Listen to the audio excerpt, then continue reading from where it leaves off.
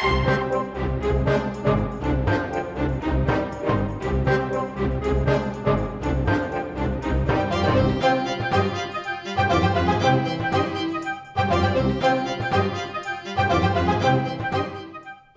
ich bin Labamba Und ich bin Quasseltonia.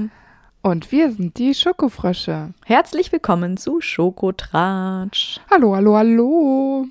Das habe ich, glaube ich, noch nie so gesagt und ich werde es auch nie wieder tun. Wer weiß.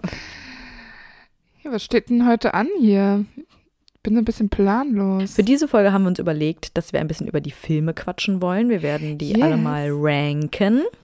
Und danach haben wir uns jeder so ein paar Lieblingsszenen rausgeschrieben, die wir dann nochmal besprechen wollen. Mhm. Weil wir haben uns gedacht, irgendwie kommen die Filme ja immer sehr kurz bei uns und die spielen ja trotzdem in der Harry Potter-Welt eine große Rolle. Also Natürlich. Warum nicht auch mal darüber sprechen? Und wenn ihr Gefallen an der Folge findet und das cool findet, dann könnt ihr uns ja auch gerne einfach mal schreiben, ob ihr euch zum Beispiel auch eine, ein neues Format wünscht, sowas wie ein Film, eine Folge. Das heißt, dann könnten wir mal einen Film ein bisschen ausführlicher in einer Folge besprechen. Genau. Und dann noch ein und noch ein, bis wir bei acht Filmen insgesamt sind. Genau. Ich finde das eine, ich äh, präsentiere euch jetzt einfach meine Meinung. Ähm, ich habe. Bitte. Ich habe jetzt. Ähm, Hast du es auch in die Kommentare geschrieben? Nee, aber das werde ich auch nicht tun. ähm, ich habe äh, tatsächlich äh, in relativ sehr kurzer Zeit äh, fast alle F Filme geguckt jetzt. Und ich habe Redebedarf. Also ich möchte euch Dinge mitteilen. Deshalb Okay. ähm, wäre es gut, wenn wir darüber sprechen. Also mit dir habe ich Ja, sowieso cool. die meisten Sachen schon besprochen. Ähm, aber ich finde, ähm, auch unsere Zuhörer äh, sollten einen Einblick davon bekommen. Was wir denken. Also, das ist wirklich crazy. Ja, ich finde das auch eigentlich eine ganz coole Sache. Es wundert mich jetzt auch, dass wir nach drei Jahren das erste Mal auf die Idee kommen, auch Ja. über die Filme mal zu ja, sprechen. irgendwie haben wir die immer wegignoriert und uns hauptsächlich darüber beschwert, wie schlecht sie das jetzt umgesetzt haben oder dass sie es gar nicht umgesetzt haben. Ähm, aber die Filme haben natürlich auch gute Momente und mit denen fangen wir ja Genau. Gott sei Dank auch an, ähm, bevor wir in gesonderten Folgen rangen können. Ich finde das eine coole Sache. Nee, ich finde, das ist eine gute Sache, dass wir auch mal ein bisschen positiv über die Filme sprechen. Ich finde es auch gut. So, und dann ähm, haben wir auch noch ein bisschen Fanpost theoretisch. Ja, coole Sache. Und ich muss dir auch noch zwei Sachen erzählen, beziehungsweise du weißt es ja schon ein bisschen. Ja, stimmt. Ich war, und das ist jetzt leider schon ein bisschen länger her, aber irgendwie habe ich es noch nicht geschafft, es zu erzählen, in so einem Harry Potter Escape Room. Und das war das erste Mal, dass ich in einem Harry Potter Escape Room war. Also ich war ja schon öfter mal. Ich war noch nie in einem Escape Room allgemein. Ja, deswegen erkläre ich einfach noch mal kurz, was man da machen muss. Also man macht das mindestens mit zwei Leuten. Wir waren jetzt zu sechst.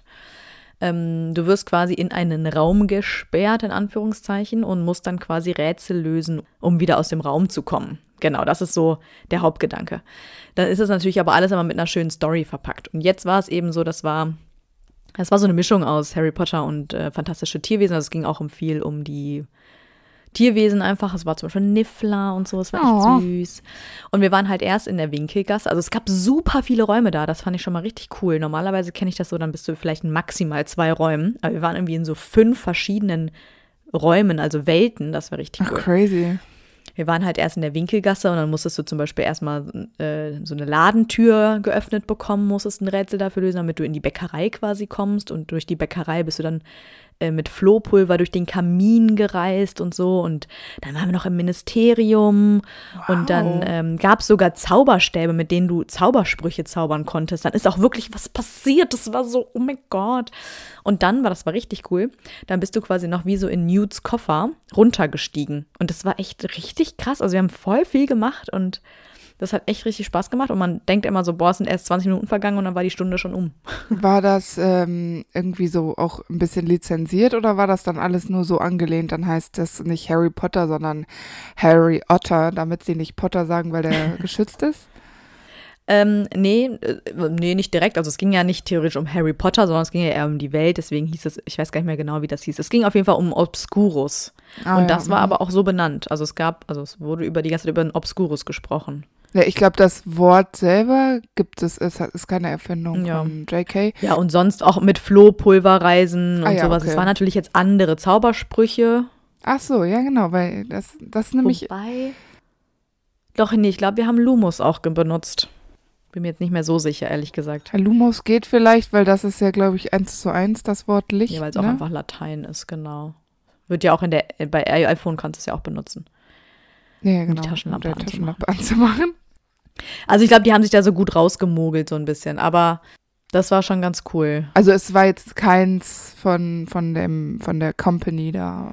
Nee, nee. Sondern, Obwohl okay. es, es war schon, es war schon sehr, also es sah schon sehr original alles an. Ja, Auch mit ja. Niffler und so, also ich weiß ja nicht. Stimmt.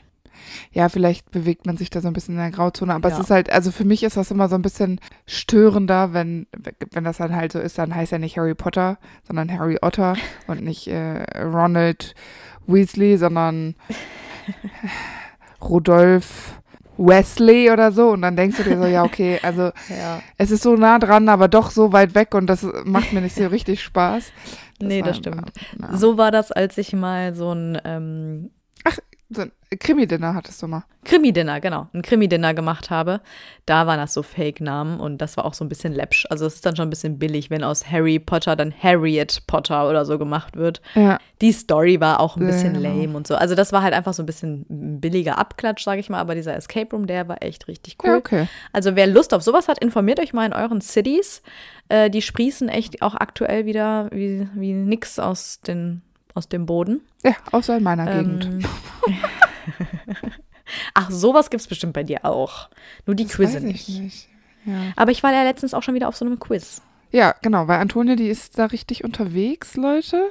Ja, ich habe auch jetzt echt meine eigene Crew. Wir, ich, wir gehen immer mit den Ja. gleichen Leuten dahin und wir sind schon so ein eingeschweißtes Team. Das ist Ja, echt ganz mega. witzig. Irgendwann hat Antonia auch alle Fragen schon mal einmal gehört. Nee, das, ich habe mal wieder übelst verkackt bei der Rubrik Zaubersprüche. Da bin ich einfach nicht gut drin. Ich kann es mir nicht merken und Ja. dann sind es auch mal so Zaubersprüche, so, ich weiß, so Duro. Wüsstest du jetzt, wofür das steht? Nein. Ja, ich wusste es auch nicht. Ich wusste, Duro ist auf ähm, Italienisch hart. Bin aber nicht auf irgendeinen Zauberspruch gekommen, der irgendwas hart macht. Dann haben wir irgendwie notgedrungen irgendwann hingeschrieben, dass die peitschende Weide, die Äste stillstehen. Mhm. Ja, aber es macht halt Dinge hart. Also hättest du einfach das, den ersten Gedanken hingeschrieben. Aber ich dachte mir so, hey, wann soll das denn gezaubert werden? Also irgendwie, und dann, ja, es ist doof, ich kann das nicht so gut. Und eine Rubrik war Schätzfragen und das fand ich so schwer. Das waren halt auch Sachen, die man jetzt nicht im Buch irgendwie schätzen musste, sondern so, wie viele Bücher werden pro Sekunde verkauft oder so. Oder halt, ne, so, das kannst du Ja. gar nicht wissen. Das stimmt. Das ist schwierig nachzuvollziehen. Und das ist dann immer so ein bisschen 50-50 Chance gewesen, ob du drüber oder drunter warst. Und naja, also das war ein bisschen willkürlich. Ähm, ansonsten hat es aber auch echt wieder sehr viel Spaß gemacht. Aber vom anderen Anbieter hat es mir dann doch ein bisschen mehr gefallen bisher. Die hatten ja auch manchmal so Filmmusikraten Stimmt, ja, genau. oder Zauberstäbe, haben die Bilder gezeigt, da musstest du sagen, zu wem die gehören. Es war irgendwie noch so ein bisschen gewitzter gemacht. da wäre ich gut. Zauberstäbe und deren Ja. Bilder, das könnte ich voll gut. Ja, Aus irgendeinem wir müssen Grund. auch echt sowas nochmal machen. Einmal warst du ja auch mit dabei, das war cool. Ich habe nämlich ja auch noch, ich schaffe es nicht immer, meinen ganzen Merch abzufotografieren. Äh, wie wir alle festgestellt haben, bin ich da sehr nachlässig geworden. Aber ich habe jetzt den Zauberstab von ähm, Luna und ich habe auch den, äh, du weißt das schon, aber äh, alle anderen wissen das noch nicht, von Bellatrix Lestrange. Das ist auch noch richtig cool. Da habe ich so ein Ästhetik-Bild im Kopf, das ich mal irgendwann umsetzen muss. ähm, Welche fehlen dir denn noch? Welche Zauberstäbe? äh, super viele. Alle, oder? äh, Was? Mir, fehlen, mir fehlen sein. richtig viele. Nein, also wirklich, also ich habe schon einige, aber mir fehlen so viele. Wirklich so viele. Ich habe nicht mal den Das von ja. Ron. Ich dachte, du hast gefühlt alle. Nee, ich habe den von Ron nicht. Und dann gibt es ja auch noch so die, ähm, wie von Cedric, von Cho, ähm, keine Ahnung, aber so, äh, so richtig coole äh, Zauberstäbe wie den von Sirius, den ich einfach hübsch finde, den von Ginny, Snape, die sind auch ganz hübsch. Dann habe ich den von, und richtig cool ist einfach der von Lucius Malfoy, weil der ist einfach irre teuer, den hat Ja, äh, Basti mir geschenkt und ähm, das ist einfach vor allen Dingen nicht dieser Fake, sondern das ist der richtige ähm, aus der Noble Collection oder wie die heißt. Der ist halt auch einfach riesig und ich weiß nicht wohin damit. Mega der cool. steht immer im Weg. Und manchmal kippt er so random um. Ich denke schon immer, irgendwann, irgendwann ist der kaputt. Irgendwann zaubert er los. Achso, ich dachte, er Ja, zaubert. ja, das vielleicht auch, aber erstmal ist er irgendwie kaputt, weil der ja mal hinfällt, weil Nein, ja. ich auch irgendwie das kom also ich habe schon ich muss meine, euch auch noch meine neue Merch-Ecke zeigen, wir haben ja umgebaut Und ähm, Ja. ich habe das neu arrangiert. Allerdings ist äh, das im Büro, also ich habe das jetzt im Büro, nicht mehr im Wohnzimmer. Dann, dann gedulden wir uns noch einen Moment. Und was ich ja jetzt auch noch mal ähm, wieder gekauft habe, waren diese Kinderjoy Harry Potter Dinger. Die ja, gibt's ich jetzt habe auch wieder zwei hier liegen. in einer neuen Variante. Genau, da gibt es nämlich neue Figuren, Leute. Habt ihr bestimmt auch schon mitbekommen. Aber ich Und, muss dazu äh, sagen, ich ähm, Bin gespannt. Äh, bin richtig schlecht dieses Jahr. Also letztes Jahr war ich ja voll gut und da hatte ich auch, habe ich auch echt gute Sachen gezogen und auch hatte ziemlich schnell alle bis auf Luna, die äh, hat mir dann äh, eine Arbeitskollege geschenkt. Dieses Mal war nur Schmarrn. Diese komischen Dinger, warum machen die da überhaupt diese komischen Dinger rein, die keiner braucht? Also entweder das ist eine Figur oder Kann gar nicht nichts. alles immer ein Gewinn sein. Also ich finde schon. Also weil das Okay. ist das ist Plastik, das landet im Zweifel im Meer. Entweder du machst so wirklich coole Sachen, wo, an denen Leute tatsächlich auch Freude haben, aber diese anderen komischen ähm, Mhm. Sachen, gerade dieses Fred und George Ding, wo dieser eine Bobble da ist, den du hoch und runter drücken kannst, wie unnötig ist das denn? Das benutzt doch kein Mensch jemals wieder. Das ist so unnötige Plastikverschwendung. Dann denke ich mir doch, dann lasst es einfach. Oder einfach noch ein Schokobon oder irgendwas Schokoladiges, was zum Essen könnte man stattdessen statt Ja, einer Figur genau. noch reinmachen. Dann hat man wenigstens was davon. Ja, und sie haben die Lizenz ja schon gekauft, ne, von, weil sonst, das ist Mhm. ja original. Das heißt, sie hätten doch auch sonst, ähm, hätten die da nicht aus Papier irgendwie so ein, ein kleines, äh, also so ein Text aus dem Schulbuch oder so, weißt du, das ist doch alles, das gibt es doch alles schon. Aber dass das aus Papier ist, dieses Mhm. Plastikfüllmaterial, was kein Mensch benutzt. Ich habe hier noch irgendwie so ein, Diese Lineale oder so gab es doch letztes Mal. Oder Armbänder oder so. Ja, das braucht auch kein Mensch. Und dann das hier, das ist jetzt hier Draco mit diesen zwei, ähm, zwei Besenstielen da unter sich. Mhm. Das soll man sich an den Ist das Stift jetzt aus der neuen tun. Kollektion? Ja. Das soll man sich an den Stift tun. Jetzt habe ich das versucht, an den Stift zu tun. Mein Stift ist zu dünn, dann rutscht das immer runter. So, das benutze ich doch auch nie wieder. Nee, voll schade, der arme Dre Dre. Ja, du brauchst einen Bleistift, glaube ich. Dann machen sie entweder mehr Figuren rein oder äh, irgendwas, was sie auf Papier drucken können. Und dann wäre ja hier dieser, der, der Willkommensbrief von Harry zum Beispiel. Das wäre cool. Oder die, die äh, Karte vom, äh, die Eintrittskarte hier vom fahrenden Ritter. Vom äh, Hogwarts Express. Oder die Ru Karte des Rumtreibers. Ja, in klein zum Zusammenfalten so. Und das, das hängen sich Leute, oder Magneten. Mhm. Warum machen sie hier nicht so ein Draco-Magnet? Den kann ich mir wenigstens an den Kühlschrank hängen. Also deshalb, also es fragt mich ja keiner von diesen Firmen mehr. Lasst uns eine Petition starten. Amber für Kinderjoy Harry Potter Edition. Ist egal, ne, egal was. Das ist, ist ja nicht nur Alles Kinderjoy, Kinderjoy, das Problem. Sondern Ach so. Also im, im Prinzip, also ich habe sehr viel Meinung zu verschiedenen Themen und man könnte mich einfach häufiger fragen. Aber dieses Kinderjoy, das hat mich wirklich, das hat mich wirklich genervt. Beim letzten Mal Ja, schon, aber stimmt. diesmal war es halt wieder so und das hat mich halt, das fand ich schon richtig kacke. Ja, ist schon ein bisschen verarsche auch. So, ich mache jetzt eins auf.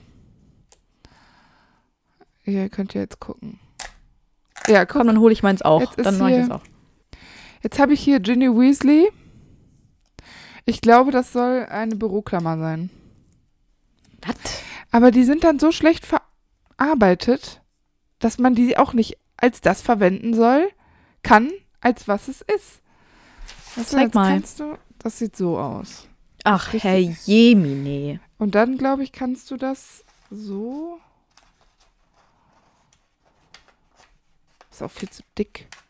Okay, das sieht aber schon ein bisschen lustig aus. Kannst du hier so da dran hängen. Aber das macht gar keinen Sinn, weil das zerknickt alles. Also vielleicht ist das auch was anderes. Äh, ich habe jetzt auch noch eins. Ich mache auch eins auf. Jetzt mache ich auch noch das andere, wenn ich eh schon hier sitze. Da mit dem Fragezeichen, da ist es immer drin, ne? Ja. Oh nö, ich habe auch so ein scheiß Fidget-Ding mit Ron. Nein, das sind, das sind die Weasley-Zwillinge. Da Ach, nervt das mich eh, dass der eine da recht. hinten so Ja, abgeschnitten das stimmt. Ich dachte so, hey, was ist das? Aber das ist ja sein Kopf. Ach, das ist hier doch. Was ist denn das? Hey, das habe ich noch nie gesehen. Ach, das ist so eine Klammer. Ja. Aber dann lieber Büroklammer als so ein komisches Fidget-Ding hier von den Zwillingen. Es ist schon wieder Ginny. Sag mal. Was ist denn mit Ginny am Start? Ich habe das falsche Ei aufgemacht. Ja, hier ist aber auch nur kleinen Scheiß drin, ich höre es schon. Egal, ich esse jetzt auch noch die Schokolade, weil Ähm, Wenigstens jetzt muss etwas. Ich mal überlegen, wo ist denn hier das? Weißt du, und das kannst du dann ja alles ähm, bei eBay ähm, kaufen. Also die verkaufen das alle die Leute und dann denke ich mir immer, Mhm. wer, wer kauft das? Also entweder du hast das Völliger komplett Quatsch. original verpackt, um es in den nächsten 50 Jahren gewinnbringend zu verkaufen oder du behältst es halt einfach. Ja. Komm mal klar. Ah, das ist auch für einen Stift hier. Guck mal. Ich muss jetzt leider die Schokolade essen. Ja, das ist okay. Und das, aber das passt doch jetzt gar nicht. Jetzt ist das zu groß. Äh, zu klein für meinen Stift. Hä? Macht gar keinen Sinn. Das ist doch hier alles Betrug. Okay, es ist einfach, es ist so ein, es ist wirklich so eine Umweltverschmutzung hier. Ja, toll, so. Und so kann ich dann schreiben, oder was? Da ist wirklich viel Schrott drin. Also ich hätte gerne die Luna. Also machst du keine Opening-Videos für Insta diesmal? Äh, doch, ich habe noch welche. Okay. Dann könnt ihr Das- euch darauf schon mal freuen. waren nur die, die ich so lose hier rumfliegen hatte, mit denen ich nie wusste, was ich damit tun soll. Und das, wie wir jetzt bemerkt haben, wäre es auch total we- unnötig gewesen, sie in einem Video aufzumachen. Das stimmt. Ich habe jedenfalls Hooch. Ja, das finde ich cool. Marius hatte Joe. Ach nee, Marius hatte dieses doofe Fidget-Ding auch. Aber ich habe von Ruben noch äh, Joe bekommen. Ich habe noch Ginny. Hm. Das ist die einzige Figur, die ich habe seit bis jetzt. Okay, ich würde sagen, wir kommen jetzt mal zu den Filmen. Wir sind ein bisschen abgekommen mal wieder, aber deswegen ist die Tratschfolge ja Tratschfolge. Also, Freunde der Sonne. Es fängt an, Antonia hatte das ja schon angekündigt, mit dem Ranking der Filme. Ich würde sagen, wir fassen aber Heiligtümer des Todes als einen Film zusammen, oder? Also ich habe die jetzt nicht gesondert gemacht. Ich habe sie gesondert gemacht, aber ich habe quasi das gleiche geschrieben, von daher passt das so. Ah, okay. Wir machen, fangen natürlich mit dem letzten Platz an Ja, und diskutieren uns dann weiter nach oben. Okay, da bin ich ja gespannt. Wir werden ja nicht einer Meinung sein. Wahrscheinlich, ja. Mhm. Okay. Okay. Dann starte mal. Ach so, ja, ich habe auf dem letzten Platz natürlich Heiligtümer 1 und 2, weil ich natürlich das Buch ja schon nicht so gerne mag. Der erste Teil dieser Filme ist irgendwie nur rumwandern, der zweite ist dann irgendwie nur so ein Actionkampf und allgemein ist einfach in diesen beiden Filmen für mich zu wenig Magie da. Also es geht wirklich nur noch um Action. Das ist so für mich so eine unnötige Geldmacherei mit zwei Filmen. Ne? Also die haben dann einfach zwei Filme draus gemacht, um es nochmal ein bisschen in die Länge zu ziehen. Naja, und wahrscheinlich, um dem Ganzen einen Abschluss zu geben, weil manche Sachen müssen ja schon auch in den Filmen erklärt Ja, werden. man muss natürlich viel erklären, das stimmt. Und es war auch äh, zu dem Zeitpunkt, glaube ich, die Zeit, wo man die letzten Bände ähm, immer zweimal gezeigt Immer. haben. Weil ich glaube, Ja, als das war bei das rau- Tribute von Panem und Ja, Twilight auch so. Und wollte gerade sagen, und bei Twilight so richtig random unnötig auch. Und dann, ich glaube, die dachten Musste man da, das hier natürlich auch. Genau, so, so habe ich mir das damals schon erklärt. Auf jeden Fall. Es war einfach so ein Trend, haben sie jetzt halt auch gemacht. Ich könnte es verstehen, wenn die beiden Filme, also die sind für mich nicht spektakulär. Es Nee. ist klar, man braucht die Erklärung, ähm, aber es ist einfach für mich, einfach dieses Magische geht verloren. Und das finde ich eben auch so schade, weil es sind sieben Jahre. Die Zahl sieben ist besonders. Harry Ja, ist Rückennummer sieben. stimmt. Sieben, sieben, sieben, sieben. Geht verloren, wenn man 7.1 und 7.2 draus macht. Das ist Ja. für mich Fuddel. Ja, und man muss dazu sagen, man kann ja auch Filme drehen, die äh, so drei, dreieinhalb Stunden gehen, weil ich glaube, so Herr der Ringe-Teile sind doch auch so ultra lang und Star Wars und so. Also ich glaube, man hätte das durchaus machen können, für die Kinos zu sagen, ja, okay, dann braucht man eine neue Filmrolle. Naja, dann machst du halt eine Pause, die setzen eine neue Filmrolle ein und dann geht's weiter. Also wie schwer kann das sein? Ich weiß es nicht, es ist im Zweifel wahrscheinlich tatsächlich Geldmacherei, aber aus dem Grund, die du auch, äh, also die Gründe, die du genannt hast, sind auch, ist auch bei mir Heiligtümer des Todes auf dem letzten Platz gelandet. Ist einfach so. Es sind Ja. auch die Filme, die ich am wenigsten gesehen habe, die ich auch am wenigsten Ja, so, genau. die geben mir nicht dieses cozy Harry Potter Gefühl, was ich so liebe. Nee, genau, das meine ich ja, dass diese Magie fehlt. Genau, und du guckst, also ich gucke das. Es lief doch letztens, lief das nicht nochmal im Fernsehen, vielleicht ist es auch schon länger her, aber es lief auf jeden Fall. Ich habe reingeschaltet und habe mir da dann schon gedacht, oh nee, brauchst du jetzt nicht. Und das ist ja Nee, nicht, also für Harry Potter ist das kein gutes Zeichen. Leider. Ja. Wer ist bei dir denn auf dem sechsten Platz? Der Halbblutprinz ist bei mir auf dem sechsten Platz. Ah ja, es ist spannend, weil ich habe auch lange überlegt, ob er bei mir der sechste oder der fünfte wird. Es ist jetzt bei mir der fünfte. Hm, mhm. Äh, auf dem sechsten Platz habe ich den Feuerkelch. What? Da unterscheiden wir uns aber sehr krass. Ja, weil ich liebe ja das Buch. Ich es weiß. ist mein Lieblingsbuch. I Und der know. Film ist einfach so enttäuschend, weil die haben so viel weggelassen. Es Ja. wird einfach gar nichts erklärt. Ich frage jedes Mal, wenn jemand sagt, ja, ich habe nur die Filme geguckt, denke ich mir so, ja, okay, dann erklär mir mal die Handlung des vierten Films. Und dann fangen die an mit, ja, also der Todesser Barty Crouch Senior ist zu Voldemort zurückgekehrt. Ich so, ja, und wo war der? Und wie ist der überhaupt ausgebrochen? Und wie Ja, ist er denn zu okay. Voldemort gekommen? Ja, und das kann mir keiner erklären. Ja, woher denn auch? Das funktioniert ja nicht. Aber das ist genau das Gleiche. Wenn du nur die Filme gesehen hast, finde ich, ist auch der sechste Teil äh, schwierig nachzuvollziehen, was da eigentlich abgeht. Ja. Also ich habe jetzt heute tatsächlich in den sechsten nochmal reingeschaut, ne- während ich so aufgeräumt habe. Und ähm, ich habe dann das geguckt und dachte mir auch so, ja, aber also eigentlich brauchst du mehr Background-Wissen über dieses äh, Halbblutprinz-Buch, äh, Slughorn allgemein, dieses das Einblenden von diesen Erinnerungen und so finde ich so verwirrend, wenn du, also wie sie es auch im Film dargestellt haben, dann finde ich auch dieses, äh, diese Romanze zwischen ähm, Ron und ähm, Lavender und so, dieses Hermine-Ron-Ding, dieses Dreiecksgedöns, finde ich super anstrengend und weil es irgendwie nicht so wie im Buch so, also für mich ist das so ein abgesonderter Teil, der so mit dieser Mhm. düsteren Stimmung gar nicht Mhm, mhm. so zusammenpasst und das wirkt für mich so zusammengeschustert, dieser sechste Teil und so düster und so wenig, auch wieder so wenig cozy Harry Potter habt. Ähm, natürlich auch dem Thema geschuldet, dass Voldemort da ähm, auf dem Vormarsch ist und Draco da so ein Problem hat da mit seinem scheiß Schwindekabinett, aber also und dann der mit der dunklen Höhle. Also ich mag den Film nicht und ich habe auch das Gefühl, wenn du die Bücher nicht gelesen hast, dass du auch da Probleme hast. Das stimme ich dir zu. Deswegen war es bei mir, wie gesagt, auch super knapp, ob es nicht Ja. doch der Halbblutprinz ist. Ich finde den Film leider auch sehr schwach im Vergleich zum Buch, Ja. weil ich weiß, auch im Buch passiert nicht so super viel, aber es gibt halt einfach super viele interessante Background-Stories zu Tom Riddle. Ja. Und die find, fand ich im Buch, ich fand es total spannend, endlich mal mehr über diesen Typen zu erfahren und sein Leben kennenzulernen und was steckt überhaupt alles dahinter und so. Das fand ich im Buch mega spannend. Der Film ist halt eher langweilig. Ja, da fällt das ja auch alles weg. Genau, die Ausschnitte, die gezeigt werden, sind viel zu kurz. Es geht so bam, bam, bam Genau. und man blickt überhaupt nicht durch, außer man, wie gesagt, man kennt den, das Buch, dann weiß man wenigstens, worüber da gerade geredet wird. Genau. Und die Sachen, die nicht wichtig sind, so dieses, alle stehen auf Harry und Romilda Vane und so, ist viel zu Ja. lang.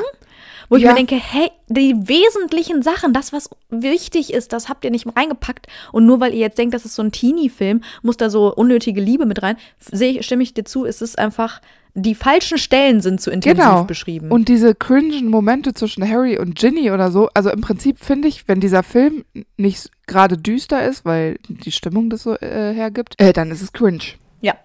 Du hast nur diese zwei Sachen. Es ist düster oder es ist total unangenehm anzuschauen, weil auch Hermine, also das ist aber Emma Watson ähm, geschuldet, wahrscheinlich ihre Art zu spielen in dem sechsten Teil, ist auch so unangenehm. Äh, deshalb schon allein, das ist der Grund, warum wir ein, äh, eine Filmbesprechung machen müssen. Ja. Ist ganz häufig ganz unangenehm und du guckst das, ich meine, jetzt habe ich den Film bestimmt auch achtmal gesehen oder so, und dann gucke ich da hin und denke mir so, oh, und dann kommt wieder irgendwas, wo du denkst so, ach Mann, das bedrückt mich so sehr. Also deshalb ist es nicht mein Lieblingsfilm. Und ich finde es halt schade, weil das die Stimmung mm, schlechter wird, ist es ja logisch. Ja, aber ja, klar. ich finde, im Buch wird ähm, die Stimmung immer noch ein bisschen aufgehellt, zum Beispiel durch Fred und George Laden. Und Ja. das geht halt im Film auch voll Ja, verloren, weil total. selbst der Laden ist irgendwie, ich habe es mir halt irgendwie geiler vorgestellt. Und es war halt alles so ein bisschen, ja. Es ist ähm, schade eigentlich. Aber äh, wie gesagt, ich finde den vierten noch schlimmer, weil das für mich einfach überhaupt logisch gar keinen Sinn macht, weil ich finde, die wichtigen Stellen wurden rausgelassen, alles mit Winky. Äh, Barty Crouch ist Juniors Geschichte, alles weggelassen. Das Buch ist natürlich auch viel dicker. Logisch müssen die da Sachen weglassen, aber ich finde auch super, ich habe mich so auf Ludo Bagman gefreut, weggestrichen. Ich, es fehlt mir einfach was in diesem Film. Und ich frage mich immer, warum haben die eigentlich alle lange Haare? Die sehen halt auch noch alle so doof aus in diesem Film. Das ist tatsächlich der. Na, na, ich sag euch später, warum ich äh, meine Platzierung für den Feuerkelch so gemacht habe oder nicht. Dann nehme ich das jetzt nicht schon vorweg. Ja, aber dann musst du uns jetzt noch deinen fünften Platz verraten, weil ich habe ja schon gesagt, dass es bei mir der Halbblutprinz ist. Ja, genau. Mein fünfter Platz ist äh, der Orden des Phönix. Ah ja. Ich mag das Buch nicht. Wen, weniger wegen, wie es geschrieben ist. Ich mag einfach diese Geschichte um Umbridge nicht rum. Also es stört mich einfach. Also ich genieße das nicht. Und so ist auch der Film. Also den Film Ja. an sich finde ich ist okay, aber da mich die Storyline da nicht so catcht von all dem, was wir sonst noch so aus den sieben Bänden kriegt, ist das mein fünfter Platz. Ja, das kann ich verstehen. Das ist bei mir der vierte Platz, weil ich tendenziell auch das Buch nicht so gut finde. Also das würde ich dann wahrscheinlich auch eher weiter runter ordnen. Ja. Ich finde aber tatsächlich, dass der Film gerade im Vergleich zum Buch, was ich ja nicht so mag, noch relativ unterhaltsam ist. Ja, das stimmt. Das Buch zieht sich halt total, ja, aber ist irgendwie wahr. ist der Film mit Umbridge und der Umsetzung schon entertaining. Also man hasst sie knackiger. natürlich. ja, ja, ja, Ja, aber es ist einfach gut gemacht. Also ich finde, es gibt halt da so viele kleine Tricks und Kniffe, was du mir zum Beispiel letztens erst erzählt hast mit dieser äh, Katze, die, die, die den Sirius im Feuer verrät oder so, oder auch Umbridge Outfits, die irgendwie immer so dunkelpinker werden und so. Also ich finde, ähm, das stimmt. das ist schon, filmisch finde ich das schon ganz gut gelöst. Was ich daran nicht so mag, sind diese Slapstick-Nummern so mit Filch und so. Ich habe, haben wir bei den Filch-Folge auch schon mal gesagt, dass ich Ja. Filch in den Filmen ganz schlecht dargestellt finde, weil es für mich eigentlich eher ein Gruselcharakter ist und in den Filmen eher so eine Lachnummer. Ja. Und was ich super schade finde am fünften Film, und das ist wirklich, das ist so traurig, ist, dass sie diese spannenden Abteilungen im Ministerium, in der Mysteriumsabteilung weggelassen haben. Das stimmt. also ja, es gibt ja, nicht diesen stimmt. Liebesraum, es gibt nicht den Zeitraum. Den Tentakelraum gibt es auch. Ja, das war einfach, das war im Buch so spannend und so stimmt. absurd auch alles und so. Und das, das fehlt mir halt leider sehr. Ja. Und so dieser Kampf zwischen Dumbledore und Voldy, der ist zwar episch am Ende, aber auch nicht so richtig befriedigend. Nein, und das ist ja auch, das ist ja auch mit dem ganzen CGI und so, also ich weiß ja nicht, also das Einzige, was mir daran ganz gut gefällt, ist, dass wir dann filmisch dargestellt bekommen, dass eben äh, Dumbledore diese Elementenmagie so gut beherrscht. Ist halt ein großartiger Kampf, aber das sollte nicht das Highlight sein. Ja. Ähm, und Props an Daniel Radcliffe so, in diesem mhm. Film. Ja, Ich muss stimmt. sagen, der hat mich die Filme davor nicht so richtig gecatcht und ich finde, er ist in ganz vielen Filmen, zum Beispiel im Halbblutprinz, da finde ich ihn unerträglich. Aber im fünften Teil, gerade so am Ende, Sirius stirbt, dann dringt Voldemort so in ihn ein und so. Stimmt, ja. Also wow, da kriege ich jedes Mal Gänsehaut. Und das äh, hat er wirklich richtig, richtig gut gespielt einfach. Ja, dann sag ich euch meinen vierten Platz. Also äh, im Prinzip würde ich es gerne höher ranken, geht aber nicht auf, wenn ich jeden Platz besetzen soll. Ist bei mir ähm, Kammer des Schreckens tatsächlich. Ah, okay. Ah ja. Ja. Äh, ich weiß gar nicht so genau warum. Ich habe angefangen, äh, die ersten drei zu machen. Dann habe ich, wusste ich ja auch schon unten, wie ich das meine mit dem Ranking. Und dann äh, ist einfach die goldene Mitte in meinem Leben, muss halt die Kammer des Schreckens sein. Mhm. Ist einfach so. Ja, aber da sind wir auch relativ ähnlich wieder. Ich habe ihn auf dem dritten Platz. Ist ja lustig. ähm, ja, ist wirklich so. Ähm, weil ich finde, es ist für mich schon so ein Klassiker, weil es einfach so der zweite Film ist und Harry ist noch so klein und süß und irgendwie. Ja, genau. Ich erinnere mich immer an diese Szene, wo Harry am Ende in der Kammer ist und dieser Basilisk da aus dem Wasser so rausschießt. Mhm. Und das war so gefühlt der erste Jumpscare meines Lebens. und äh, ich finde es irgendwie ein bisschen cooler als viele andere, andere Filme, weil es halt das erste Mal ist, dass es so ein bisschen düsterer wird. Der erste Teil war wirklich alles noch so Friede, Freude, Eierkuchen. Und jetzt ist es halt so ein bisschen gefährlicher alles geworden. Und Ja, das stimmt. ich finde auch, das mit dem Tagebuch ist eigentlich ganz gut umgesetzt. Und hey, Tom Riddle, der Junge, ist Na, ein Hottie. Also verdienter Platz drei, würde ich sagen. Äh, mein Platz 3 ist der Stein der Weisen. Ah nein. Na doch. Feuerkelch ist bei dir so weit oben. Mhm. Das ist ja schrecklich. Ich, ich, nee, ich erkläre das ja auch jetzt gleich. Okay, okay, best- Ich bin bestimmt nicht die Einzige, die das so sieht. ja. Stein der Weisen ist bei mir ähm, auf Platz 3. Äh, ist wahrscheinlich der Film, wo ich am meisten mitsprechen kann, weil ich den am häufigsten gesehen habe. Mhm. Nein, am zweithäufigsten. Bei ähm, Stein der Weisen ist halt, da ist fast alles drin. Ne? Das, eigentlich ist ja Mhm. fast das ganze Buch umgesetzt worden. Und ich weiß nicht, die haben es gut umgesetzt und wir lernen das zum ersten Mal, diese magische Welt kennen und ja, Ich finde auch. Also ist bei mir Platz zwei. Haha, ist bei uns alles verschoben. Ja, nur wegen äh, Feuerkelch. Ja, genau, der hat's gecrashed. Der hat's, der hat's gecrashed. Ja, ähm, ich finde, der Steinerweise ist einfach, ist einfach ein Klassiker. Ich finde, der Film ist halt besonders schön, einfach weil die Musik da sowas Besonderes ist. Ja, und man ist ist das wahr. erste Mal in der Winkelgasse und man lernt die Orte alle das erste Mal kennen. Und Harry ist einfach süß und ich finde, es ist einfach so ein Wohlfühlfilm. Also man guckt den einfach und es ist schön, es ist aber auch spannend, aber es ist auch, ach, keine Ahnung, ich mag es einfach. Ich gucke Ja, den sau gerne, genau, auch wenn die alle noch so Babys sind. Ne, das, genau Ich mein, deshalb gucke ich das so an. gerne, weil ich finde, dass ähm, das so ein schönes Alter ist, weil die sind wirklich süß. Also Har gerade Ja, Harry ist süß. so und auch Ja, Ron, so mit seinem sind Potschnitt. so süß. Wirklich Ja. putzige Menschen, wirklich. Und auch Draco, ne, wenn du weißt, was später aus ihm wird und dann guckst du ihn an und denkst, ach du kleiner Bengel, den willst du mal so in, in die Wange kneifen. äh, mein Platz zwei ist nämlich tatsächlich der Feuerkelch, weil Mhm. ähm, ich bin so ein bisschen davon ausgegangen, dass ich jetzt nicht also ich habe diesen Vergleich mit den Büchern nicht äh, bei jedem Film ähm, gezogen und wenn du nur den Film guckst, ich finde, der vierte Teil ist halt ziemlich entertaining. Es passieren ziemlich viele Sachen. Wenn du nicht so viele Rückfragen hast, Ja, aber das ist das Buch schuld und nicht der Film. ja, das kann sein, aber ich finde, sie haben es ganz, also das, was ich da sehe, das macht mir Spaß. Also gerade der vierte Teil, Aber die haben von der Quidditch-Weltmeisterschaft kein einziges Spiel gezeigt. Man sieht ja nicht mal, wie die richtig fliegen. Das, das ist alles so traurig. ja, das, das stimmt. Wenn man das jetzt jedes Mal, wenn man jede Szene vergleicht mit, ne, dann ist man sehr enttäuscht, so wie du. Oder man guckt sich äh, die äh, sonnige Seite an, so wie ich. Dann ist man gut unterhalten. Ich finde das mit den Drachen cool. Dann ist das mit, ähm, Nein, aber die Drachenszene, dann reißt der sich los und ist weg. Und ich denke mir so, anstatt diese dumme Szene zu drehen, die es im Film gar nicht gibt, hättet ihr mal lieber was anderes zeigen können. Ja, das Es ist sau unlogisch, dass dieser Drache sich losreißt. Natürlich ist das unlogisch, aber ich habe mir nur den, ich habe nur, ich gucke den Film gerne. Ich gucke ihn gerne.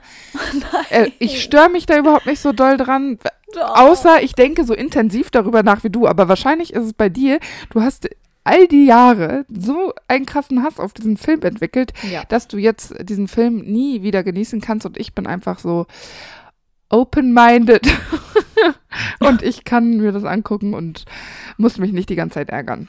Und an sich ist das, ich finde das ein ähm, unterhaltsamer Film irgendwie und äh, ich bin da auch nicht mit allem d'accord, aber man muss auch dazu sagen, bei mir ist es ja auch immer noch so, ich habe ja die Filme vorher gesehen. Das heißt, Mhm, ich hatte nie die, ich hatte, als ich das zum ersten Mal geguckt hatte, hatte ich auf keinen Fall diesen Vergleich. Der kam ja bei Ja. mir auch äh, weitaus später erst, sodass ich mich ja jahrelang, als du dich schon geärgert hast, ich mich ja noch gar nicht geärgert habe.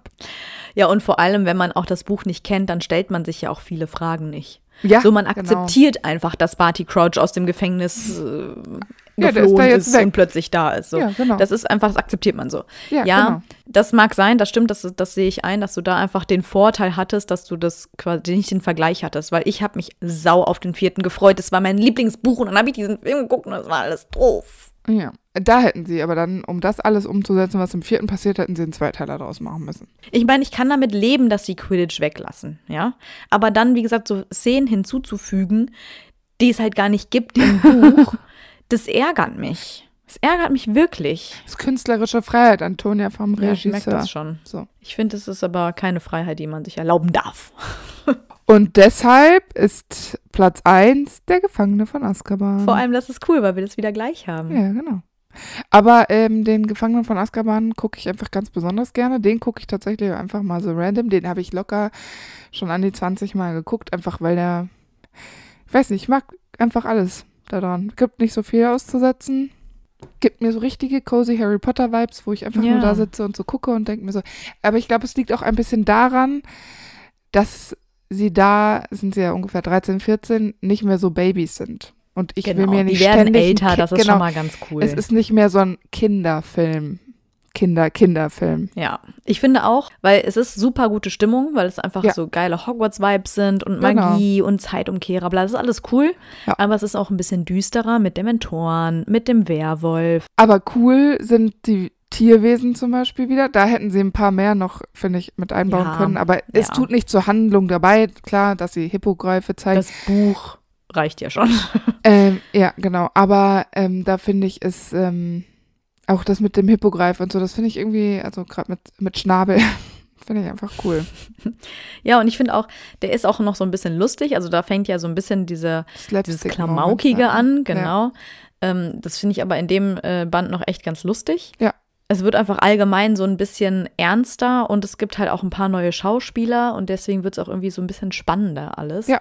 Und ich gucke den auch wirklich unglaublich gern und der ist auch wirklich auch, ich finde auch, was so Magie angeht und ich meine, in den ersten beiden wird irgendwie so wenig gezaubert. Stimmt. Aber ähm, in dem Film ist so dieses Magische, ist auch einfach wirklich gut umgesetzt mit dem Irrwicht, mit dem Patronus. Ja. Und es ist irgendwie einfach alles schön, schön anzugucken. Ja, und der, ich finde, den, der ist sehr kurzweilig. Ja. Aber ist doch gut, dass wir uns da einig sind. Ja. Jetzt bin ich aber natürlich auch gespannt, was euer Lieblingsfilm ist und Ja. wie ihr das gerankt hättet. Also schreibt es uns unbedingt mal in die Kommentare, gerne auch mal mit einer kurzen Begründung. Genau, dann gehen wir das mal durch. Das könnten wir dann ja durchgehen, wenn wir die Filme besprechen. Mhm. Da könnten wir uns ja immer Kommentar, so einen Kommentar raussuchen. Mhm. Die liebe Tatjana sagt, sie mag den zweiten Film am liebsten, weil sie liebt Schlangen und der Basilisk gehört zu Schlangen und das findet sie toll. Das war jetzt Ja. ein fiktiver Das Grund. total eine gute, eine gute Geschichte auf jeden Fall. Ja, boah. Ja, mir ist witzigerweise äh, aufgefallen, dass als ich mir dann die Lieblingsszene rausgeschrieben habe, dass tatsächlich viele Szenen mir direkt als erstes eingefallen sind von Filmen, die ich eigentlich nicht so mag. Also zum Beispiel vom, äh, von den letzten Filmen oder auch von ähm, Feuerkelch tatsächlich. Das fand ich dann irgendwie ganz witzig, weil äh, ich mir dachte, eigentlich mag ich die Filme ja nicht, aber es gibt doch in jedem Film ja irgendwie so ein paar besondere catchy Szenen, die einem auch irgendwie im Gedächtnis bleiben. Also ich habe die Filme zum Beispiel nicht extra nochmal geguckt. Ich meine, ich habe sie natürlich auch Millionen Mal geschaut, aber äh, ich hatte einfach direkt zu jedem Film einen Moment, wo ich mir dachte, yo, diese Szene hat mich schon immer gecatcht, da kriege ich Gänsehaut oder die fand ich besonders cool gemacht oder witzig oder irgendwas. Also das hatte ich jetzt nicht, deshalb habe ich mal äh, das durchgeguckt. Fand ich eigentlich ganz schön. Und bei mir ist es tatsächlich so, dass ich, äh, das ist mir aufgefallen, dass bei fast jedem Film, äh, ich habe den, habe die siebten jetzt nicht geguckt, aber ich glaube, ich werde sie auch nicht gucken. Fühle ich gerade nicht. Erst wenn wir bei der Folge sind. Ja, genau, da gucke ich es dann nochmal richtig. Weil ich mag eigentlich fast alle ersten Momente des Films. Also wenn sie quasi den Film so. Die Startszene. Wenn, ja, also bei, also beim ersten sowieso. Okay, ich muss, ich will mal kurz gucken, ob ich sie alle weiß. Also beim ersten ist ja klar, Harry ist unterm Schrank und wacht auf. Genau, also die Szene mag ich nicht. Da ist zum Beispiel erst, wenn es in die Winkelgasse geht. Ja. Aber warte, ich will noch mal kurz die Startszene nur gucken. Okay, dann Der zweite Film, also beim dritten Film weiß ich es auch, da ist Harry unter der Decke und zaubert, Lumus Maxima. Genau. Beim vierten kriecht die Schlange darum auf dem Friedhof. Nee, ja, ja, genau. Aber beim zweiten weiß ich es jetzt irgendwie gerade nicht. Ähm, Harry öffnet die Augen und die Nein, Dursleys die schreien sind, rum. sind die nicht. Ach nee, das ist der erste. Äh, ist- Nein, da sind die, da sind doch die Masons schon da fast eigentlich, oder? Beim zweiten. Den zweiten weiß ich nicht, wie der losgeht. Beim fünften sind die da unterwegs auf dem Spielplatz mit, äh, sitzt Harry auf der Schaukel. Ja, auch mit Daddy Matz und im sechsten, Ist das da, wo Narzissa und Bellatrix Ja, ist das in das Spinners? End landen? Ja, weil es die, das Kapitel mit dem mit Muggelminister ist weggestrichen aus dem Film. naja, und beim siebten, keine Ahnung. Beim siebten ist es, 7.1 wäre dann ja, weiß ich nicht. also müssten sie ja nicht im Fuchsbau sein, wegen der Wedding. Also das Buch fängt so an, dass Harry in seinem Zimmer ist und äh, er hat halbherzig Ach, stimmt, seinen Koffer gepackt und Nacht der schneidet sich an den Potters. Spiegel. Ja, der Genau. muss auf jeden Fall irgendwie bei den Dursleys sein.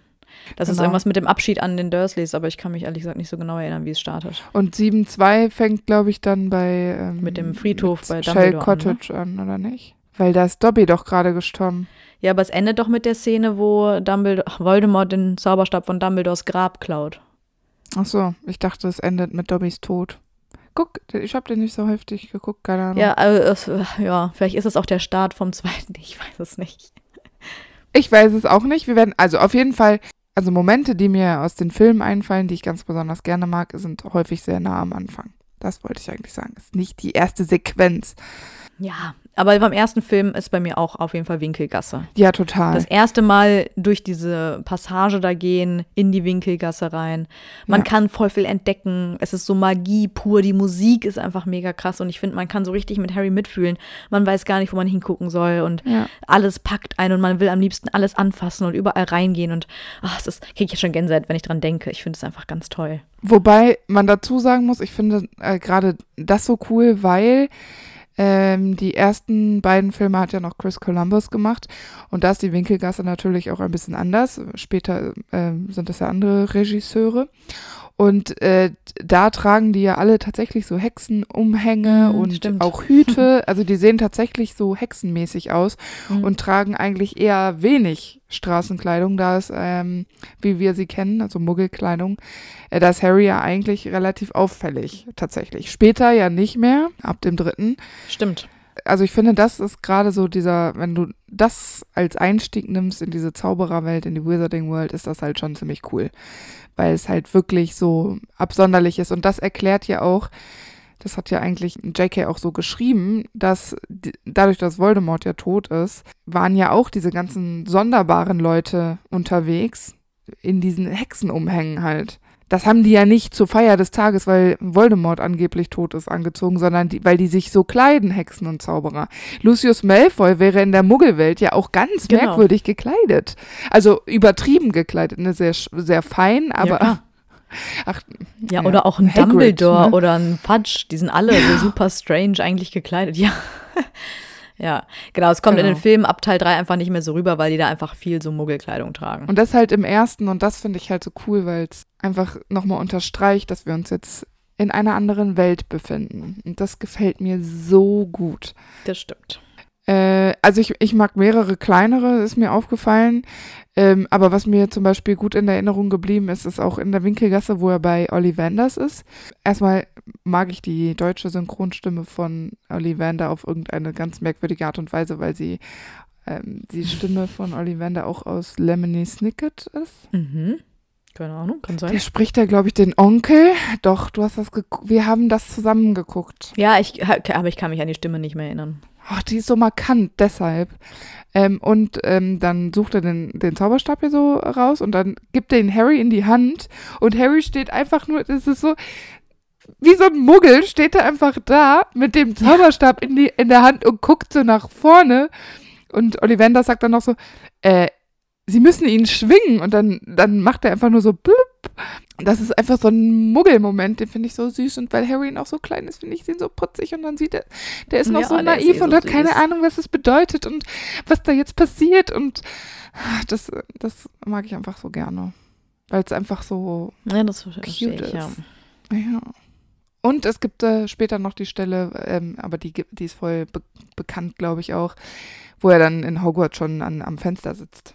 In der ersten Nacht so voll humble mit Hedwig da Mhm. und so rausguckt und so. Ja, wo man es dann so raus, das Wow. geht dann die Kamera so aus dem Fenster Ja, raus, genau. ne?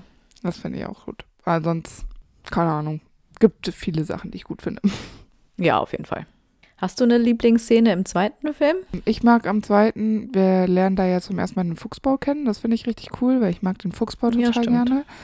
Aber ich finde, man sieht relativ wenig davon am zweiten Teil. Also später mal mehr. Das stimmt, aber mir hat insofern gut gefallen, weil ich muss ja jetzt nicht mehr auf die Handlung achten ich, und auf die Leute, die da spielen. Du kannst, äh, wer, also ich und alle, die das schon tausendmal gesehen haben, du kannst halt so rumgucken und ähm, Mhm. musst dich nicht so auf die Handlung fokussieren. Da, da siehst du schon eigentlich relativ viel und irgendwie ist das, ist das da so bunt chaotisch und so. Das äh, hat mir richtig gut gefallen. Das stimmt.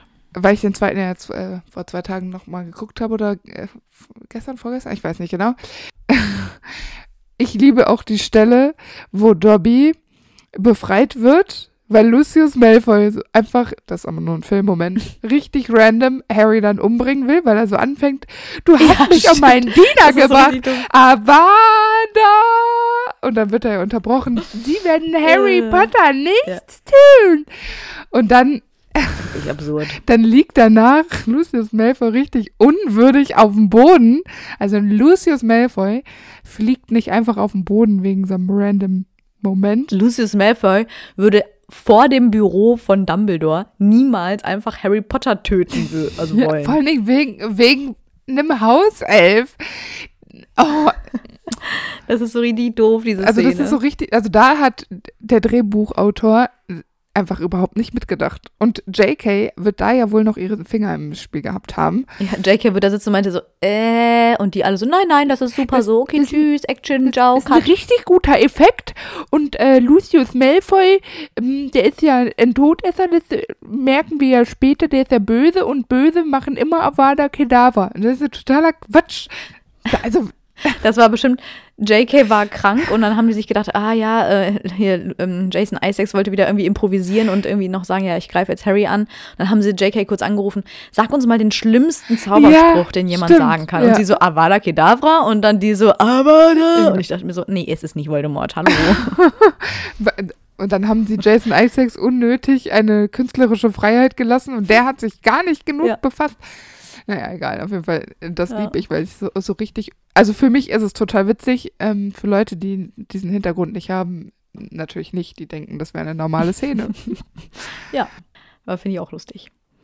Was mir auf jeden Fall sehr positiv in Erinnerung ist, ist, dass die Schauspieler von Crab und Goyle diese Verwandlung Stimmt, von Harry ja. und Ron mit Vielsafttrank als sie selbst, finde ich mega gut, weil man einfach voll erkennt, wer ist Harry und wer ist Ron. Dabei sehen sie aus wie Crab und Goyle und es sind ja auch die Schauspieler von Crab Ja. und Goyle. Und ich finde, das ist einfach gerade in diesem jungen Alter, finde ich das mega die Ja. Leistung, wie die das rübergebracht haben. Auf jeden Fall. Und im dritten Teil? Im dritten Teil habe ich sehr viele Lieblingsmomente. Ich finde den Flug mit Seidenschnabeln toll, den hattest du ja eben auch schon mal Ja. erwähnt. Aber auch die Fahrt mit dem fahrenden Ritter, Ja, die lieb ich. die finde ich so geil. Ich finde auch diesen Schrumpfkopf mega. Das ist ja auch eine Erfindung von den Filmen. Den gibt es ja im Buch gar nicht und äh, finde ich super unterhaltsam. Ich liebe auch äh, Stan Shunpike in dem Moment, mhm. weil der so bescheuert rüberkommt. Der ist schon eine Nummer, ne? Ja, finde ich. auch. Und ich mir dann auch immer denke, so, das ist der Typ, der später mal ein Greifer wird. Hä? Mhm. Das macht gar keinen Sinn. Aber für den dritten, ähm, für diesen äh, Einstieg da, was machst du da am Boden? Ich bin hingefallen. Wozu bist du hingefallen? Was ist das für eine Unterhaltung? Das ist so geil. Ich liebe das. Ja. Das Shane ist einfach so richtig ein bisschen, der ist ein bisschen beschränkt, Ja, total. aber es ist wirklich lustig. nee, genau. Finde ich auch. Aber ich mag auch diese Szenen mit dem Irrwichtskampf Ja. bei Lu Lupin, das haben die auch richtig gut dargestellt. Ich finde auch ähm, die Sachen alle bedrohlich so. Also es ist schon Ja, ähm, ein gruseliger Moment, aber einfach durch die Stimmung voll schön und sehr aufgelockert durch Lupin. Also ich finde es genau richtig, die Stimmung da. genau. Und die Karte des Rumtreibers finde ich halt auch mega cool Ja. gemacht und einfach auch wieder so ein super magisches Element und ich lieb's. Ich liebe auch ähm, Wahrsagen. Also eigentlich alle Stunden, die sie Mhm. haben. ja, Trelawney ist halt auch einfach der Knüller. Erweitert euren Horizont. Und ich liebe es, wie ähm, Ron da so wirkt. Ich weiß, in, in den Filmen haben sie ihn dümmer dargestellt, als er in den Büchern ist, aber gerade im dritten Teil finde ich es überhaupt nicht schlimm, weil ich diesen Film und die Stimmung da so gerne mag, dass ich auch nicht das Gefühl habe, oh, das ist Harry Potters dummer bester Freund, sondern es ist einfach, weil er, wenn er dann so aus der Tasse liest halt. und sagt, naja, das hier steht für Leiden und Prüfungen und das hier für große Freude. Und dann ist seine Schlussfolgerung, du wirst leiden und dich da unheimlich drüber freuen. Und wie er das sagt und Aber das ist im Buch ich weiß, auch. aber wie Aber ich glaube andersrum. Ich glaube, das sagt Harry, Harry, zu Ron, genau. Und aber wie Rupert Grint in dem Moment mit diesen unnötig, auch der hat da ja auch schon so längere Haare, finde ich einfach witzig. Ah, da könnte ich mich er kringeln. hat auch einfach eine super Mimik, einfach der Typ. Ja, ja, genau. Aber ich finde auch zum Beispiel die Stelle, wo Hermine Draco vermöbelt, Ja, richtig gut dargestellt, stimmt, weil ähm, das ist auch im Film ist es so ein bisschen größer als im Buch. Im Buch ist es nur so ein Nebenbei-Ding und im Film ist es aber einfach richtig cool und einfach, ich finde es einfach eine richtig witzige Sache, wie Hermine ihm da so richtig ins Gesicht schlägt. Und auch richtig notwendig einfach. Es musste auch Ja. mal sein. Aber was ich auch noch cool gemacht finde, ist, ich meine, ich fand das, es ist ja sehr kompliziert darzustellen, diese Zeitreise.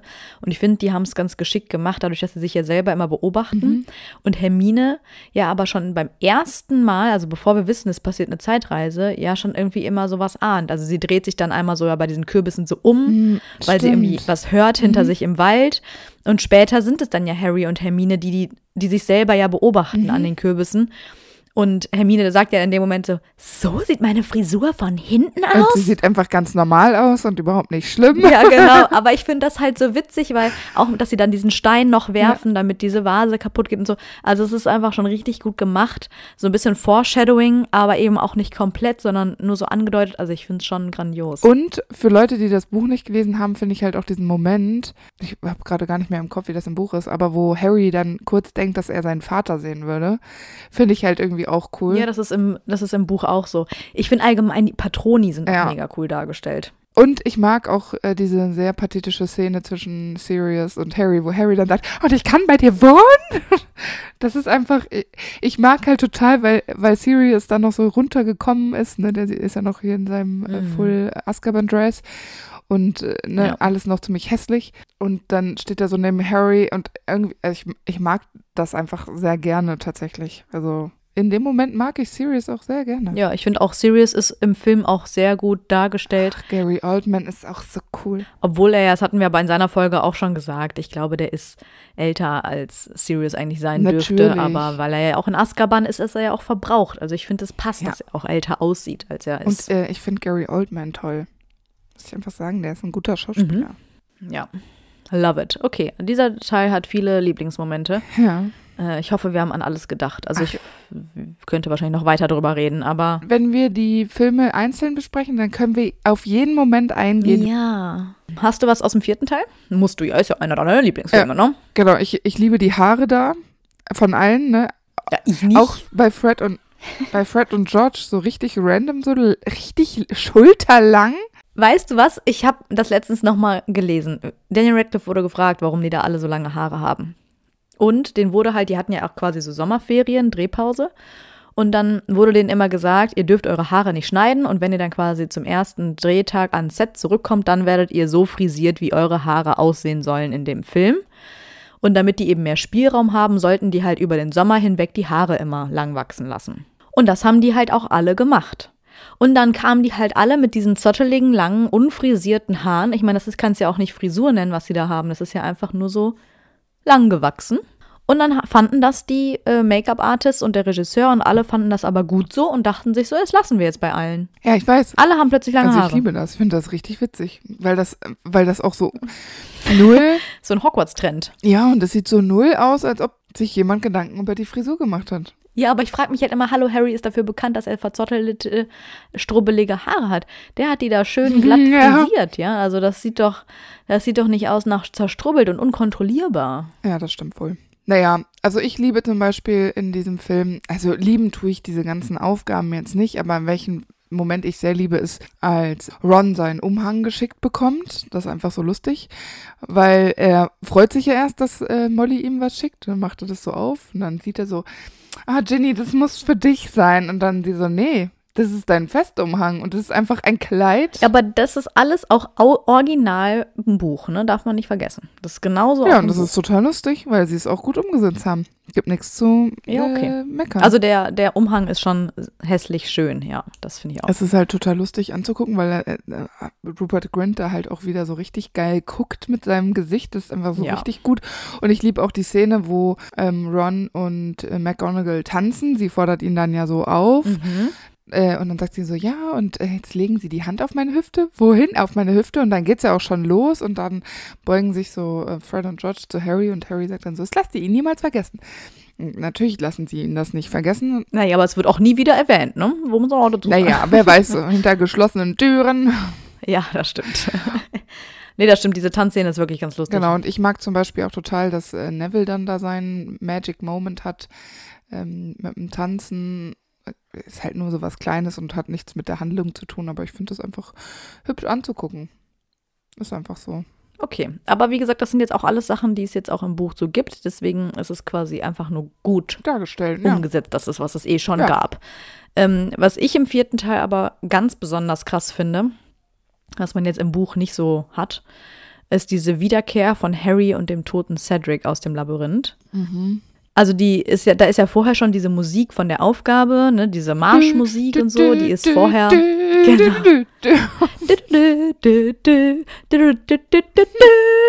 Und dann ist man auch so richtig in Stimmung und denkt sich so, jawoll, und man will direkt mitdancen und denkt sich so, wuhu.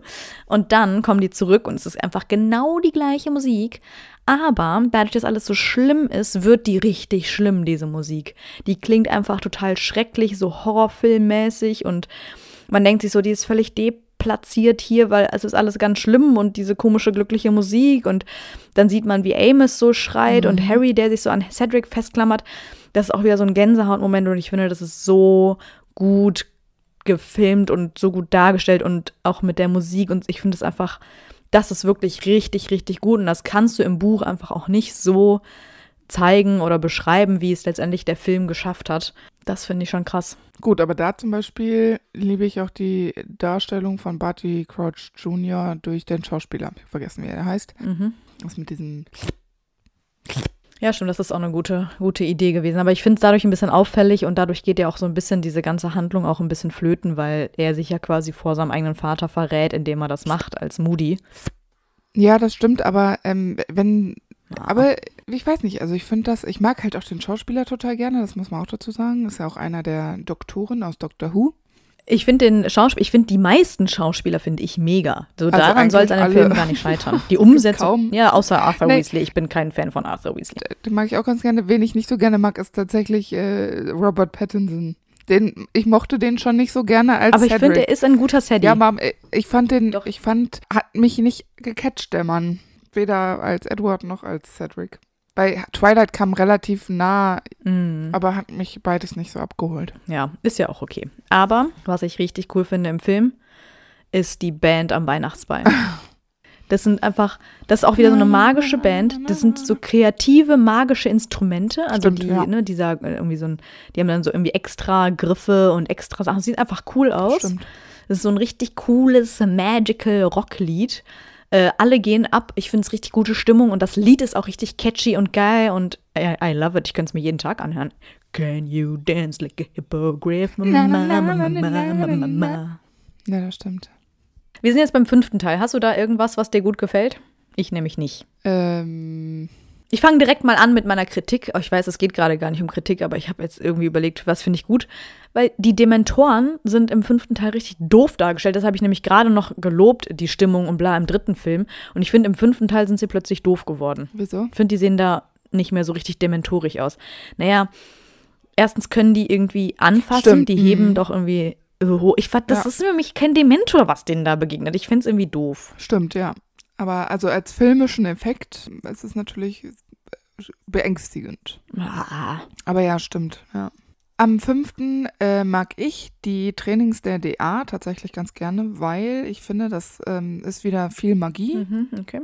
Die üben da, dann gibt es da so ein paar lustige Szenen. Also ich zum Beispiel ähm, finde die Szene, wo sie Stupor üben, und Rhonda noch so gönnerhaft sagt so, zu Hermine, die Team da ja, ja, ich werde dich verschonen oder irgendwie sowas, sagt er. Und dann Hermine so, mm, und klar, Hermine gewinnt dieses Duell gegen Ron natürlich haushoch in dem Moment. Und Ron erzählt dann noch so, ja, ja, ich wollte, ich kann sie ja nicht verlieren lassen. nee, nee. Und auch Neville, finde ich, der da immer sein Expelliarmus übt und so. Und dann finde ich es halt einfach ganz cool gemacht also aus filmischer Sicht, weil sie es dann ja innerhalb von, keine Ahnung, fünf Minuten alles zusammen, diese mhm, DA-Trainings ja, zusammenpacken, immer. Das ist sehr kurzweilig. Kur genau, kurze Sequenz DA, kurze Sequenz Inquisitionskommando, ne, immer hin und her und mhm, dann hast du dieses Wechselding und das finde ich einfach ganz cool gemacht und ist super unterhaltsam eigentlich, weil die Trainings mal gut, mal schlecht laufen. Da ist zum Beispiel auch diese lustige Szene, wo das Inquisitionskommando um Draco und Filch rum dann ja im Besenschrank landen und da liegen die da so Kugeln, die da so übereinander auf dem Boden rum, ist halt in dem Moment ganz lustig und deshalb äh, finde ich das im fünften. Und sonst gibt es nicht so viel Lustiges im fünften, weil Umbridge halt eine alte Hexe ist und die halt alles Kacke macht. Ja, aber ich habe ja jetzt auch schon viele, meine Szene im vierten Band war ja sehr traurig, dramatisch. Also ich finde jetzt, eine Lieblingsszene muss ja jetzt nichts Lustiges sein. Aber ich äh, finde auch, dieser Wechsel zwischen Inquisitionskommando und DA ist ganz gut gelungen und auch um zu verdeutlichen, dass Zeit verstreicht. Ja, ja, ja genau. Stimmt, ja dass das jetzt nicht nur ein Training nee, ist, genau. sondern dass es sich halt um mehrere, um mehrere mhm. Trainings handelt. Das haben die ganz gut gelöst, ja. ja. Weil ich glaube, es wäre total merkwürdig, wenn sie das anders gemacht hätten und immer mal wieder zum DA-Training zurückgegangen wären, während da eine andere Handlung gerade besprochen wird. In, als, äh, also literarisch als Buch kannst du das, glaube ich, also hat J.K. das ja so gemacht, das ist ja kein Problem, das kannst du ja drumrum gut erklären. Aber im Film, da gibt es ja keinen Sprecher aus dem Off, der dann sagt, ja, und jetzt ist Tag ähm, 150 in Hogwarts. Ne, deshalb äh, ist das ganz gut gemacht. Ja. Sind wir schon im sechsten, ne? Ich habe dann keine Liebl also ich habe da keine Lieblingsszene. Ich finde den Film wahnsinnig bedrückend und er zieht mich immer runter. Ja, doch, ich muss sagen, ich finde halt die, die Szene mit Horace Luckhorn finde ich irgendwie cool, Ja, weil ich finde den irgendwie putzig. Ich finde, Ja. das ist wieder eine sehr, sehr gute Besetzung. wahr. Ich finde es super lustig, wie er aus diesem Sessel steigt. Das habe ich mir genauso auch im Buch vorgestellt. Das haben die richtig gut gemacht, weil ich finde, es ist eigentlich sehr schwierig, das umzusetzen. ja, ganz am Anfang, als er sich als Sessel tarnt. Ja, genau. Und auch, ähm, wie er da im Gewächshaus erwischt wird von Harry, ja, er das stimmt. ähm, da diese Venemosa Tentacula da klaut. Das finde ich auch, das ist einfach witzig und der ist einfach, der hat sowas unschuldig Hinterhältiges an sich und ich finde, das trifft es eigentlich bei ihm ganz gut und Das ist wahr. alle Szenen mit Slughorn genieße ich eigentlich sehr.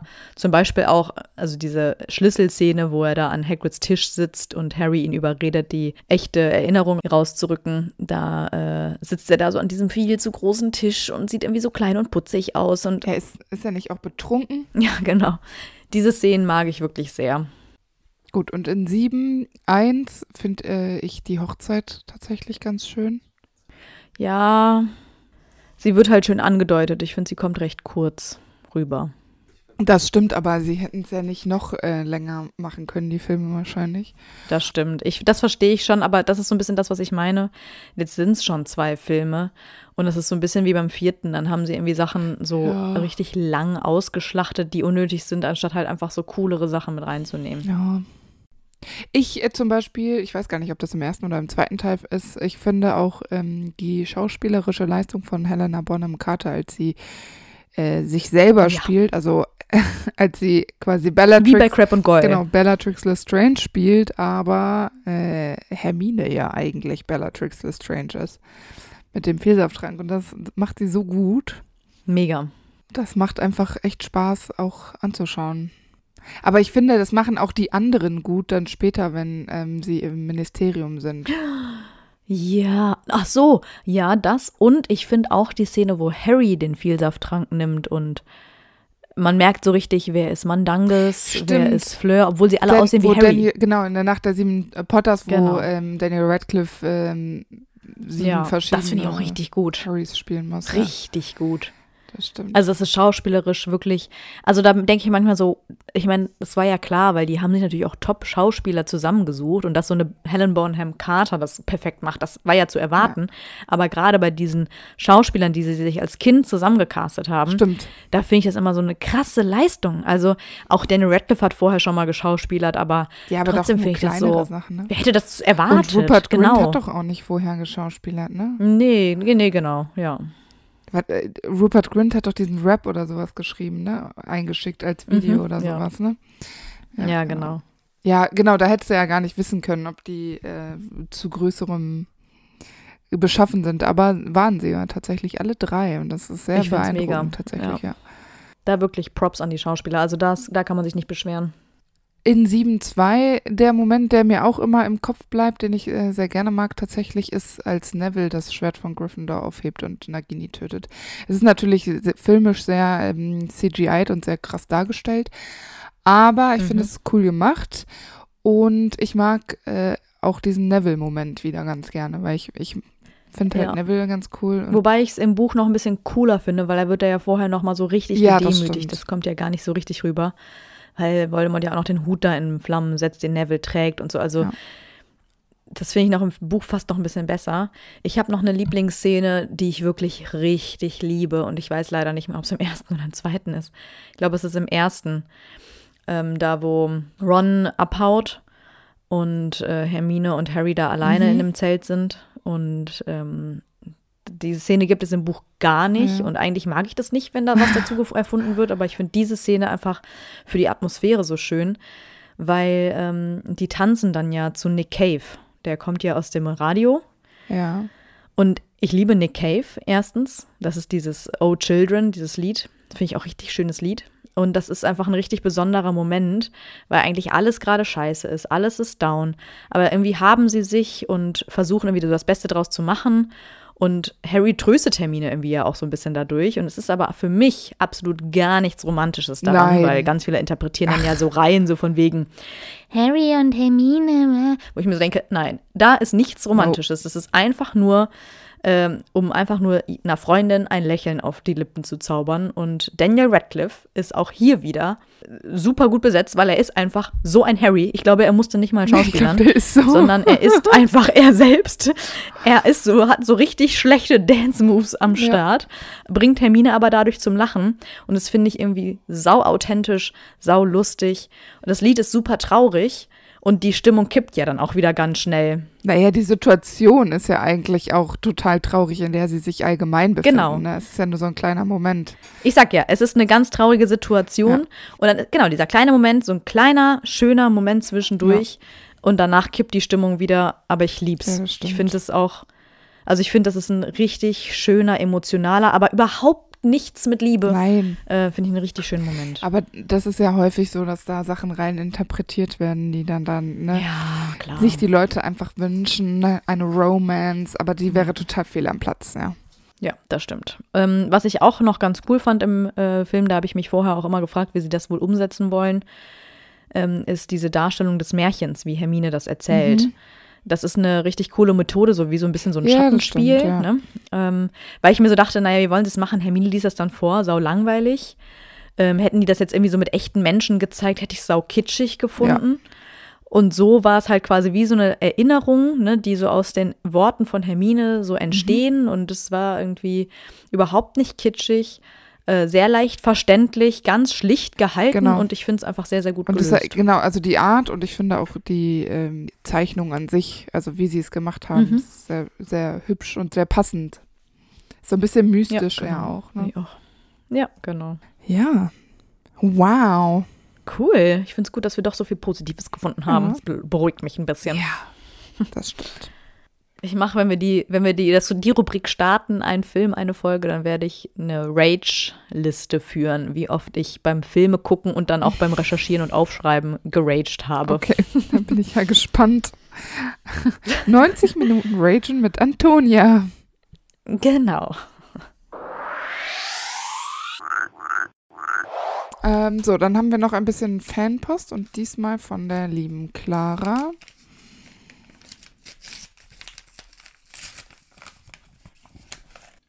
Ach, süß. Hier ist eine Schokofroschkarte. Da ist Antonia drauf, Amber mit ihrem Kind. Also, mein Kind hat jetzt auch einen. Das ist ja sie geil. Ja, Amber süß. und Antonia sind bekannt für ihren weltbesten Podcast Süß. und ihren, Prei und ihren Preis bei der Hexenwoche für den zauberhaften Podcast. Oh, das ist ja wirklich süß. So, hier ist nochmal Dobby. Ja, geilo. Wir lieben Dobby. Und hier ist so ein Slytherin-Armband, schätze ich. Mhm. Ich habe vergessen, wie Loom, Loop. Ich weiß Oh, das weiß ich auch nicht, wie diese Dinger heißen. Ja. Ist auf jeden Fall frankiert. Früher war, hatten wir Scooby-Doo. Das ist das neue Scooby-Doo. Liebe Amber, liebe Antonia, gleich vorab, ihr dürft den Brief vorlesen. Ich liebe euren Podcast. Meine Lieblingsfiguren sind Lily Evans und Nymphedora Tongs, aber auch Lupin. Meine Lieblingsfolgen sind von Snape und Lupin. Mein Lieblingsemoji ist die, sind die bittenden Hände. Ach, wie bei Antonia, die benutzt es auch immer. Oh, die benutze ich sehr oft, ja.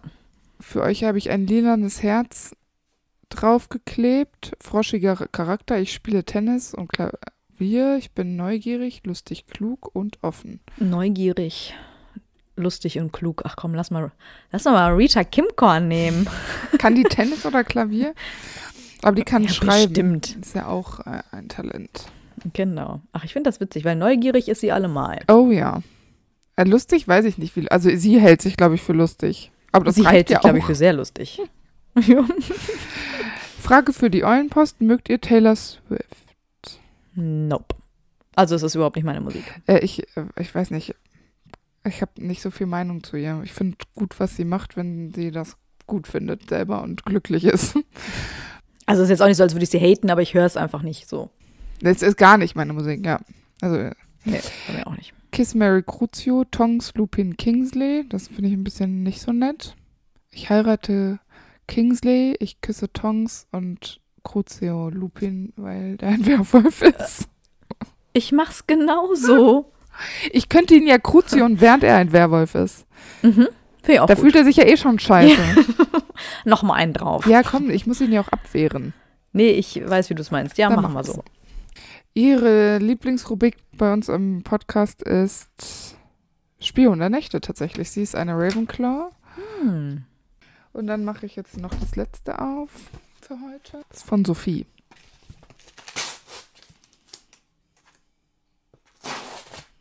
Nein, Toni. Das ist das Oh Gott. Was jemals, Ich will jemals sehen. passiert ist. Es ist eine Mütze. Oh. Es ist eine, eine Baby-Kindermütze mit Harry Süß. Potter Stoff und es ist richtig schön gemacht. Sweet. Wenn ich nicht so einen Dickschädel hätte, würde ich sie selber tragen. oh mein Gott, how cute. Mir passt die bestimmt. Sehr süß. Und den passenden Body dazu. Nein. Das ist so crazy. Och, das ist ja wirklich Oh mein süß. Gott. Ist bestimmt selbst genäht, ne? Ja. Warte, hier ist noch ein Brief. Ich habe dir auch was selbstgenähtes geschickt. Das stimmt. Aber nicht so cool. Ich kann leider nicht so gut nähen wie Naja. diese Person. Sophia oder wer das war. Hallo Amber, hallo Antonia. Ich höre euren Podcast sehr gerne. Vielen Dank für eure Zeit, Mühe, Liebe, die ihr in den Podcast steckt. Amber, herzlichen Glückwunsch zum Baby. Ich, ich habe dem Würmchen einen Body und eine Mütze genäht. Ich hoffe, die Sachen gefallen. Mann, ja, das wie ist wirklich super lieb. Das ist wirklich super schön. Total passend. Ich habe extra etwas größer genäht. Ich wünsche euch eine schöne Anfangszeit und dass ihr euch als kleine Familie kennenlernen und zusammenfinden könnt. Ich bin selbst vor Sehr zweieinhalb süß. Jahren Mama geworden und erinnere mich noch gut. Alles Liebe, Sophie. Sweet.